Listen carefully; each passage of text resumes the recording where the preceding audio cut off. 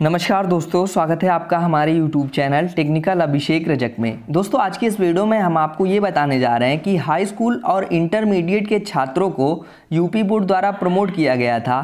तो काफ़ी छात्रों के नंबर कम थे तो इसीलिए यूपी बोर्ड उन छात्रों को एक और मौका देगा, जिनके नंबर कम थे या जो दोबारा पेपर देना चाहेंगे। तो चलिए जान लेते हैं पूरी बातों को। तो सबसे पहले आप यहाँ देख सकते हैं हमारे मोबाइल स्क्रीन पर आज के पेपर में छपा हुआ एक आर्टिकल है, जिसमें बताया गया है परीक्षाएँ कब से स्टार्ट होंगी। तो देख सकते हैं, यहाँ पे लिखा गया है हाई स्कूल व इंटरमीडिएट की लिखित परीक्षा 18 सितंबर से। तो चलिए पढ़ लेते हैं पूरी बातों को। यूपी बोर्ड में पंजीकृत छात्र छात्राओं के लिए अच्छी खबर है। जो विद्यार्थी हाई स्कूल व इंटरमीडिएट में मिले अंकों से असंतुष्ट हैं, वे अब अंक सुधार की लिखित परीक्षा दे सकते हैं।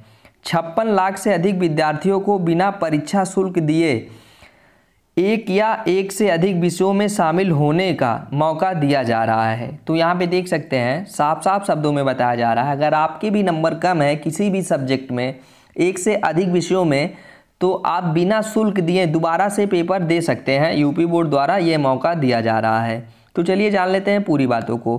अंक सुधार की लिखित परीक्षा 18 सितंबर से 6 अक्टूबर तक कराई जाएँगी। तो आपका जो ये लिखित परीक्षा होगा 18 सितंबर से 6 अक्टूबर तक कराई जाएगी। इसमें शर्त यह है कि परीक्षार्थियों को मूल्यांकन में मिले अंक ही मान होंगे। तो यहाँ पे देख सकते हैं, इसमें एक शर्त है, जो आपको नंबर मिलेगा, फिर से वही मान्य होगा। उनका 31 जुलाई को घोषित रिज़ल्ट आमान होगा। जो आपका इससे पहले 31 जुलाई का रिज़ल्ट घोषित हुआ है, वो आमान हो जाएगा और आपका नया रिज़ल्ट मिलेगा एग्ज़ाम देने के बाद। इसके बाद देख सकते हैं, इसमें लिखा गया है, इससे ऐसे समझे कि जो विद्यार्थी अभी उत्तीर्ण हैं, अंक सुधार परीक्षा में शामिल होने पर, जरा सी चूक होने पर वह फेल भी हो सकते हैं। तो यहाँ पे देख सकते हैं, अगर मान लीजिए अभी आप पास हैं और कहीं आप फिर से एग्ज़ाम देते हैं तो कहीं आप फेल हो जाएँगे तो ये जान लीजिए आप फेल ही माने जाएँगे।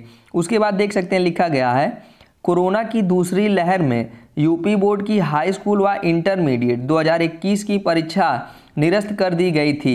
दोनों कक्षाओं में पंजीकृत छात्र छात्राओं को बिना इम्तिहान परिणाम तैयार करके करके इसके लिए पूर्व में कक्षावार मिले अंकों को, तय प्रतिशत से रिज़ल्ट बनाया गया था। और हाई स्कूल और इंटरमीडिएट का जो रिज़ल्ट 21 तारीख को घोषित हुआ था।